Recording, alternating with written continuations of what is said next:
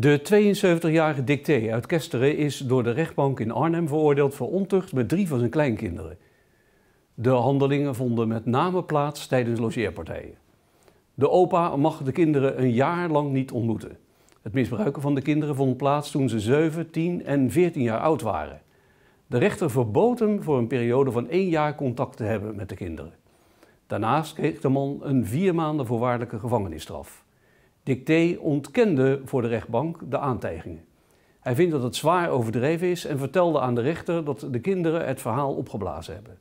De ouders van de kinderen hebben alle contact verbroken en hopen dat de opa alsnog uitspreekt dat hij over de schreef is gegaan.